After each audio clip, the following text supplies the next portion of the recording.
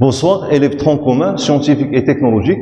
Euh, je vous propose un exercice euh, concernant l'équilibre d'un solide susceptible d'être en rotation autour d'un axe fixe. C'est un exercice de synthèse qui vise à tester vos compétences et bien sûr votre savoir-faire en mécanique statique. Donc je vous présente l'exercice. Alors on a ici un montage constitué par soi-disant trois systèmes.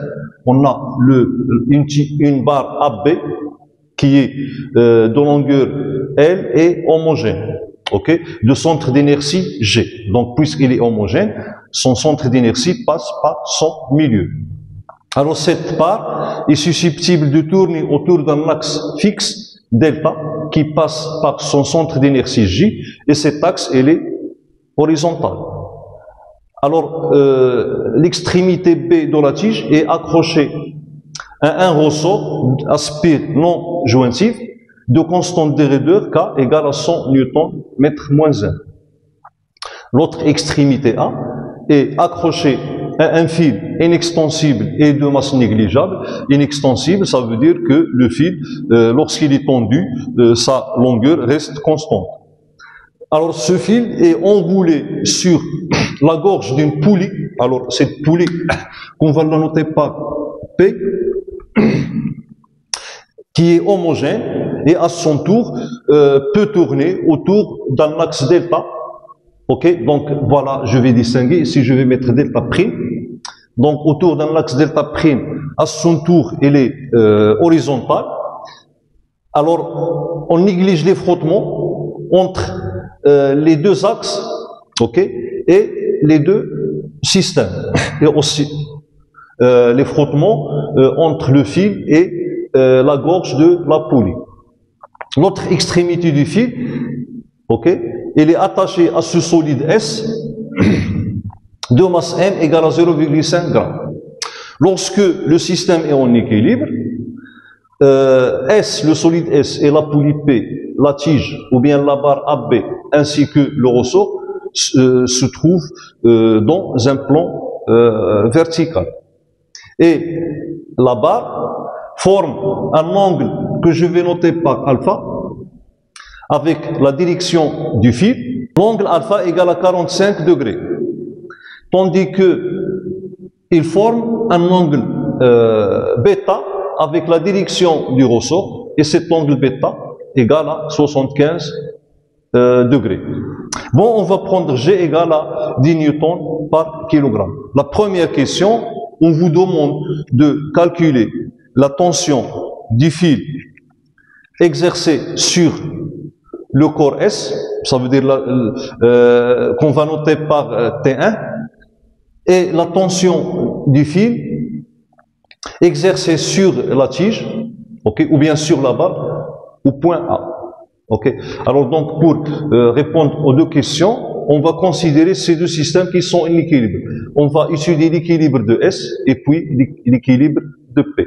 Commençons par étudier l'équilibre de S. Euh, faisons l'inventaire des forces exercées sur S. Alors S, il est soumis à deux forces. Son poids P et la tension du fil que je vais noter par T1. Alors, puisque S en équilibre, donc la somme de T1 et T2 égale à vecteur nu. Ça veut dire que T égale à P égale à mg. Et en faisant une application numérique, donc, on trouve que T égale à 5 newtons. Étudions maintenant l'équilibre de la poulie. Donc, on va commencer par faire le bilan des forces qui s'exercent sur la poulie. Alors, il y a le poids P et la force exercée par l'axe delta prime, puis la tension du fil qui s'exerce de ce côté et la tension du fil qui s'exerce de l'autre côté. Donc, je vais vous présenter ces deux tensions alors cette tension, on va la noter par T1 prime, voilà. Et l'autre tension, on va la noter par T2 prime. Alors on sait tous que toujours les tensions du fil, leur direction est confondue avec le fil. Et en même temps, je vais représenter la force qu'on cherche à, déterminer son intensité, c'est la tension du fil exercée, ça veut dire la force exercée par le fil sur la barre en point A. Alors voilà cette tension, je vais la noter par T2. Puisque la poulie est en équilibre, donc la somme algébrique euh, des moments de toutes les forces qui s'exercent sur la poulie est nulle. Bon, le moment de P égale à 0. Pourquoi? Parce que P passe par l'axe de rotation, ok? Euh, Puisque l'axe de rotation traverse la poulie au point O qui représente le centre euh, de gravité de la poulie. Et puis, la force exercée par l'axe de, rotation égale à zéro, puisqu'il n'y a pas de frottement. Il reste les, deux moments, le moment de T1' et le moment de T2' qui ne sont plus nuls. Donc, essayons d'exprimer ces deux moments. Alors, on a le moment m delta de T1' égale à, donc, puisque euh, la force T1' est susceptible de faire tourner le, euh, la poulie dans le sens positif choisi, alors ce moment est positif. Et la distance qui sépare l'axe de rotation, ok, de l'axe de la direction de la force, ou bien la ligne d'action de la force, c'est le rayon de la poulie que je veux noter par R. Donc, le moment M delta de T1' égale à R, ou bien je commence par l'intensité de la force, T1' fois R. R étant le rayon de la poulie. Puis, le moment de T2', M delta de T2' égale à l'intensité de la force T2 prime multipliée par le rayon R. Et puisque la force T2 prime, ça veut dire le, fil, qui, lorsqu'il exerce la force, donc euh, il a tendance à faire tourner euh, la poulie dans le sens inverse du sens positif choisi. Donc ce, ce moment-là est négatif. Ainsi, la somme de ces deux moments égale à 0. Ça veut dire m delta de T1 prime plus m delta de T2 prime égale à 0. Ok? Donc, euh, lorsque je substitue chaque force par son expression, je simplifie par R, je trouve finalement que T2 prime égale à T1 prime. Maintenant, on va euh, lier ces deux intensités avec l'intensité T1 et l'intensité T2. Donc, la tension T2, ok, c'est quoi? C'est la force exercée par le fil sur la tige ou bien sur la barre au point A. Et en fait, c'est cette tension qu'on cherche. Alors là, on va euh, exploiter le fait que le fil est inextensible. Alors donc, puisque le fil est inextensible, ça veut dire il transmet euh, la force sans changer son intensité. Il peut changer la direction, le sens, mais l'intensité de la force ne la change plus. Ça veut dire que puisque le fil est inextensible, alors T1 égale à T1' et T2 égale à T2 prime. Ainsi, donc T1 égale à T2. Donc application numérique T2 égale à 5 newtons. La question 2, on vous demande de euh, donner les différentes forces qui s'exercent sur la barre AB. On a tout d'abord la force T2 qu'on vient de calculer son intensité. La deuxième force, c'est la tension du ressort que je, vais noter par T3. Voilà donc T3. Donc qui a une direction euh, de l'axe euh, de ressort. Donc voilà T3. Et puis euh, la troisième force, c'est son poids. Et la, la quatrième force, c'est la force exercée par l'axe delta sur la tige. Voilà donc les quatre forces. L'avant-dernière question, on vous demande de déterminer l'intensité de la tension T3. Ça veut dire la force exercée par le ressort sur la barre AB. Donc euh, là, puisque la barre elle est en équilibre, ça veut dire que la somme algébrique des moments de toutes les forces s'exerçant sur la tige AB égale à 0. Le moment du poids égale à 0. Pourquoi? Parce que le poids P, il passe par l'axe de rotation. Le moment de la force exercée par l'axe de rotation égale à 0, puisqu'il n'y a pas de frottement, ou bien les frottements sont négligeables. Les seuls moments qui ne sont plus nuls, c'est le moment T2 et le moment T3. Ok? Alors pour calculer, exprimer ce moment, donc je vais euh, reprendre euh, le schéma uniquement de, de la tige, ok, pour ne pas condenser la figure. Et comme ça, je vais expliquer donc comment on va déterminer le moment de la force T2 et le moment de la force T3.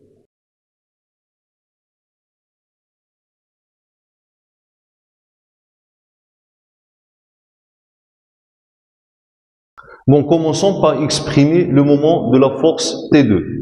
Donc M delta de T2 égale. Alors tout d'abord, on, euh, vérifie si euh, la force T2 tend à faire tourner le solide dans le sens positif choisi ou bien dans le sens inverse du sens positif choisi. Donc en voyant que la force T2, donc il a tendance à faire tourner la tige vers ce sens ok? Parce que sous l'action de T2, ok, la tige va euh, faire ce mouvement-là, ce mouvement de rotation, ok?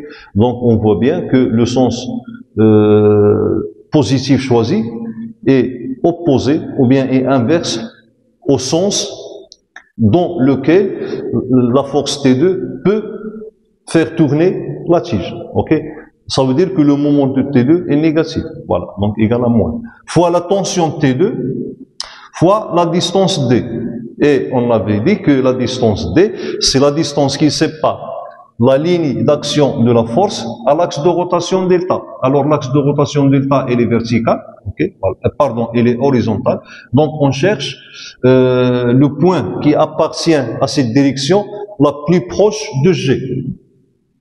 Ok Alors donc pour trouver euh, ce, point, ok, qui nous, qui nous permet de trouver la distance, je fais projection tout simplement orthogonale de G sur. Donc je prends mon équerre, voilà, et je projette G sur la direction de la force, ok. Et voilà donc la projection. Voilà ce point-là. Donc que je vais noter par H. Donc la plus courte distance entre la direction de la force et l'axe de rotation, c'est la, la distance HG. Ok. Alors donc voilà cette distance. Ici j'ai la perpendiculaire. Maintenant on va exprimer cette distance en fonction de l'angle alpha et de la longueur de la tige. Ok? Alors donc D égale à H ou bien GH. C'est la même chose, GH.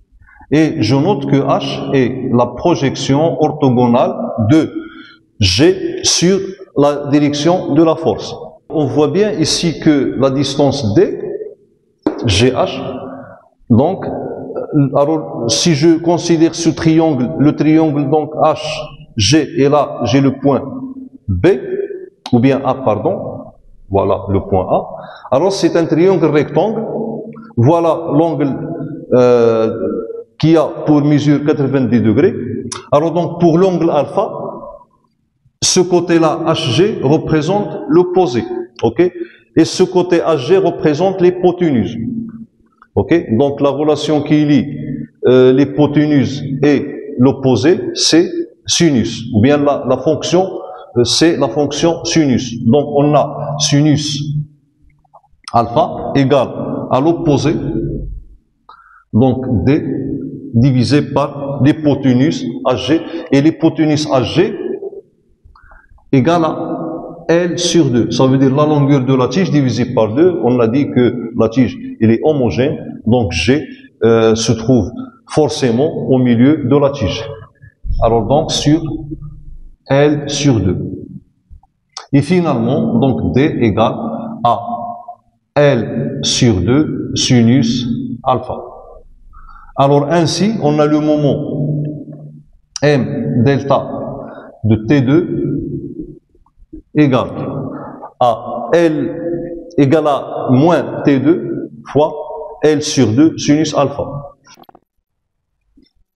Maintenant, on va exprimer le moment de la force T3.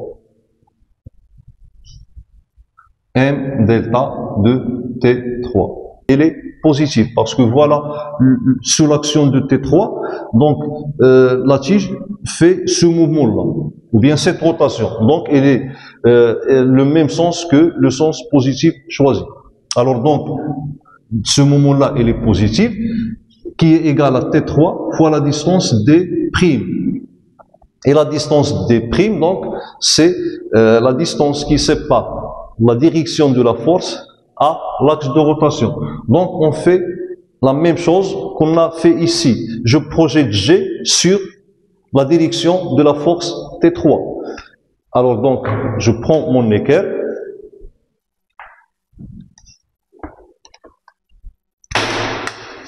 et je projette, voilà.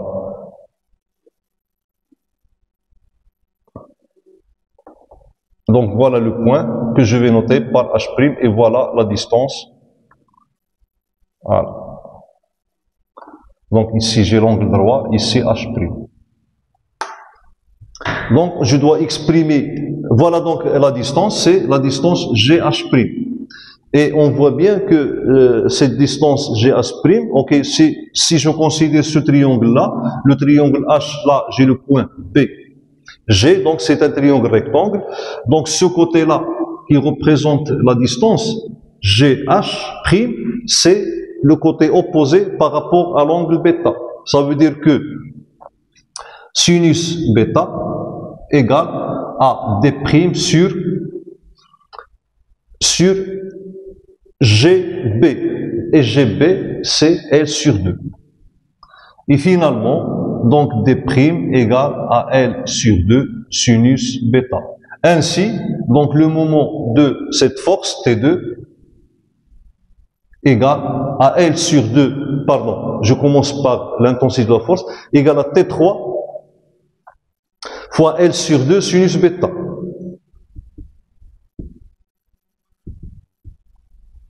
Maintenant, euh, en appliquant le théorème de moment, sigma m delta des forces extérieures égale à 0 implique que, donc on a dit que le moment de R' égale à 0, le moment de P' égale à 0, donc il reste le moment m delta de T2 plus m delta de T3 égale à 0. Je substitue chaque moment par son expression. Et je trouve, donc le moment m delta t3, c'est t3 L sur 2 sinus bêta, plus, pardon, moins T2 L sur 2 sinus alpha égale à 0. Donc je simplifie par L, je simplifie par 2, et je trouve finalement T3 sinus bêta égale à T2 sinus alpha. Donc finalement, alors moi je cherche T3, alors T3 sera égal à euh, T2 sinus alpha divisé par sinus bêta. Voilà l'expression donc du moment, euh, bien de l'intensité de la force T3. Donc en faisant une application numérique, on trouve T3 égale 3,55 newtons. La dernière question, on vous propose de calculer l'allongement du ressort delta L. On avait vu que la tension du ressort est proportionnelle à son allongement et le coefficient de proportionnalité, c'est la constante de rigueur. Ça veut dire que T3 égale à K fois delta L. Ça veut dire que delta L égale à T3 sur K. Voilà, en faisant une application numérique, donc on trouve que delta L égale 3,6 cm. En fait, on va trouver delta L en mètres et on l'a converti en centimètres.